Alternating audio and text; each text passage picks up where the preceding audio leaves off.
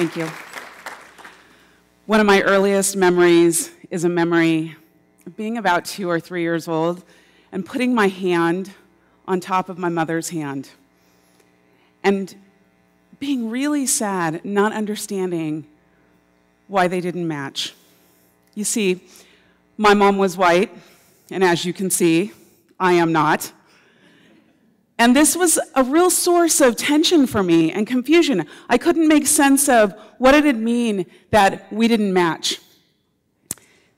I was born at a time when a cultural revolution was sweeping across the United States. 1970 was a time when the civil rights movement was in full swing, the Black Power movement was creating incredible change in the way that African Americans could see themselves. And my mom was very clear that she had to curate, make sense of, provide information about what it meant to me that we didn't match. So, much to my chagrin, she provided a lot of African American dolls and books and information for me, and sometimes I didn't want it because I wanted the white Barbie, like everybody else. It's not fair. My mom was aware of studies that had been done by Kenneth and Mamie Clark. Now, Kenneth and Mamie Clark in the 1940s conducted a series of experiments with African American children where they gave them two dolls. The first doll they gave them was white with blonde hair, and the second doll they gave them had brown skin and black hair. And they asked African American children a series of questions about which doll was nicer, which one was prettier, which was the better doll, which one do you like more? Every time, black children chose the white dolls. So my mom was aware of this, and she knew that if she didn't do something to intervene on all of the other messages, the stereotypes, the negative ideas about African Americans in the United States, that I might be one of those children. That experience of growing up was the inspiration for the research that I currently do. I research the internet. I look at the values, the ethics, the influences that impact the way that we design technologies. Now, I don't actually design technology myself. I'm a social scientist. I study them. I study the technologies that we inherit, and I try to collaborate with people who want to make a difference in improving them. So let me tell you a little bit about what I found when I started my research in 2009, I started collecting searches in major commercial search engines. And in 2011, this was the first hit for black girls.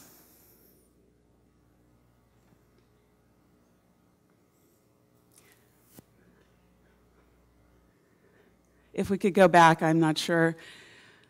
I'll tell you that um, you got a chance to see that first slide, and I was very concerned about that. So I contacted women's magazines, and I tried to convince them that this is something that we should care about.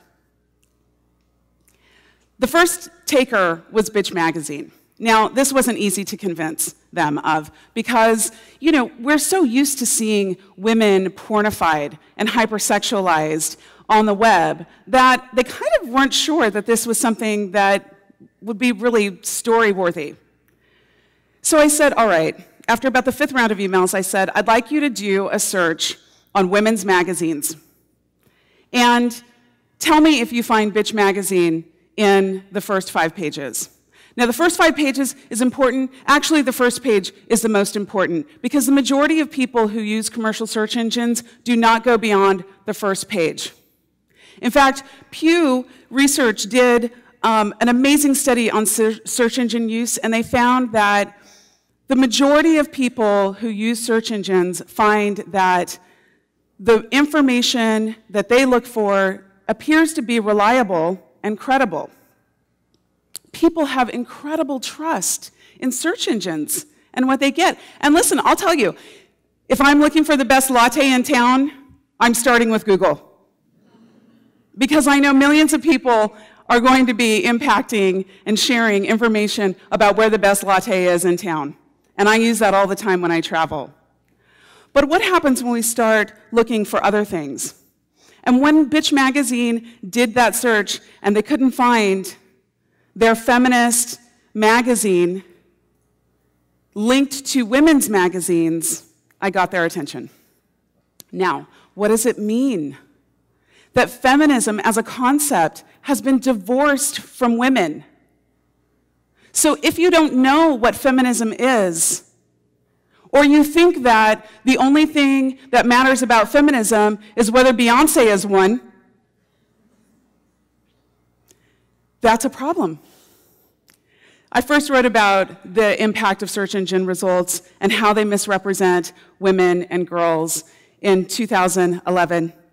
And shortly thereafter, I'd say about three months later, the algorithm changed for black girls and black girls and pornography are no longer the first page of information in Google. Not so for Asian girls. Not so for Latinas. So we have work to do. Search engines are amazing tools for us, but what we don't see are the ethical dilemmas, the biases that are inherently built into them the ways in which money influences the kinds of results that we get. It's not just about popularity, it's about credibility too. So, what happens when we look for more specific information? Information that can help us tell us something about other people. When I do searches on why are X types of people so, these are the kinds of results that I get. Why are black people so loud, athletic, lazy? We don't see words like intelligent, prolific, amazing.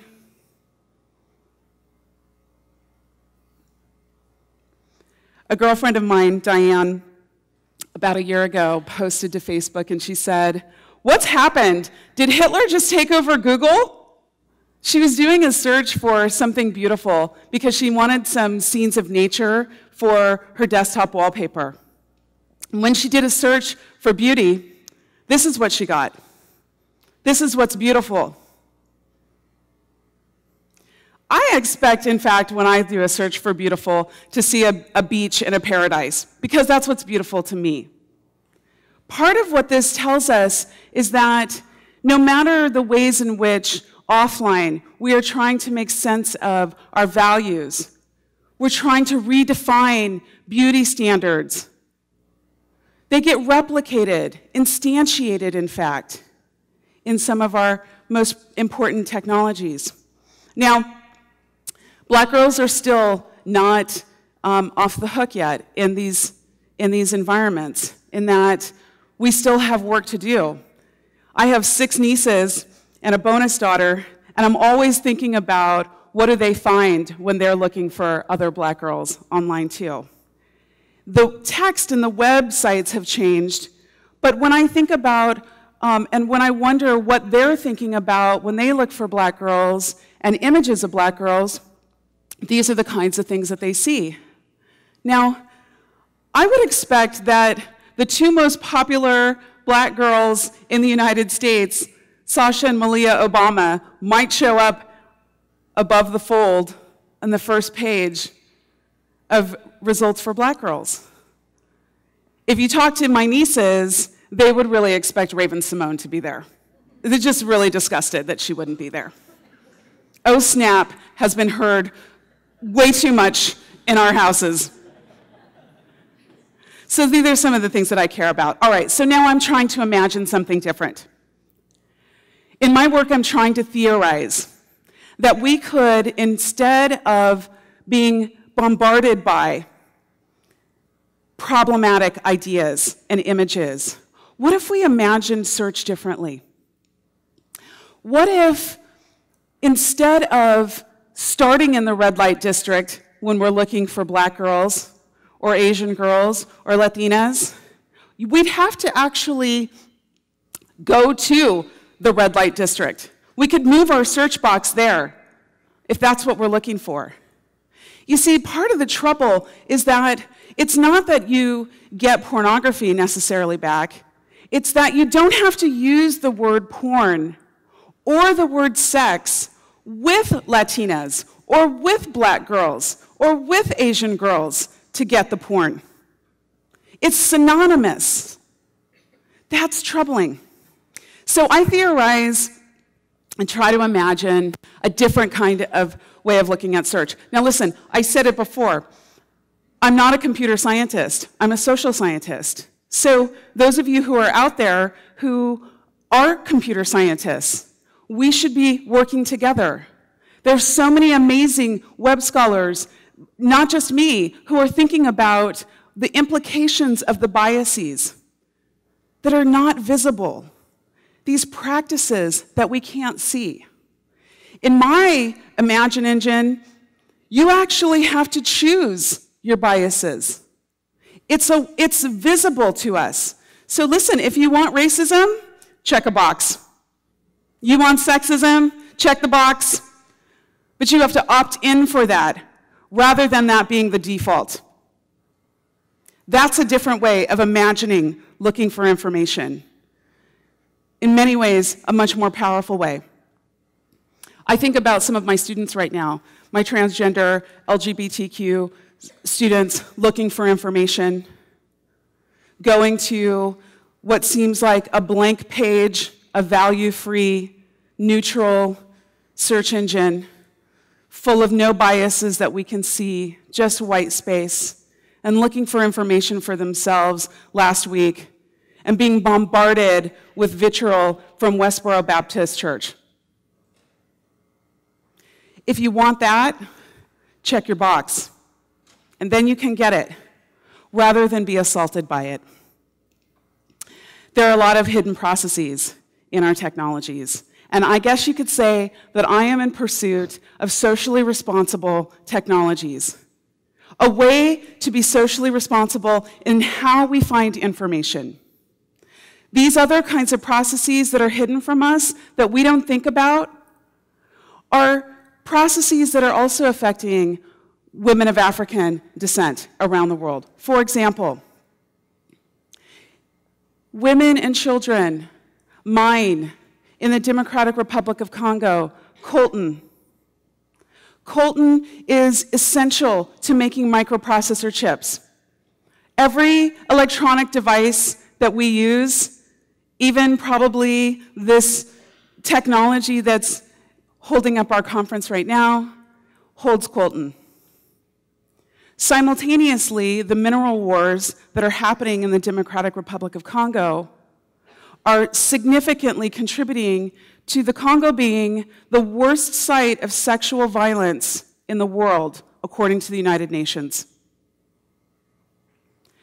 It's hidden from our view. We don't see it. We have to make these processes visible.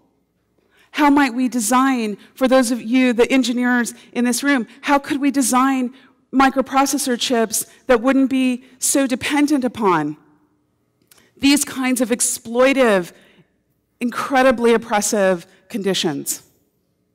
And you know, I know everybody wants to upgrade, upgrade to that next iPhone 12 I don't know, what's coming, right? It's coming, we know it's coming.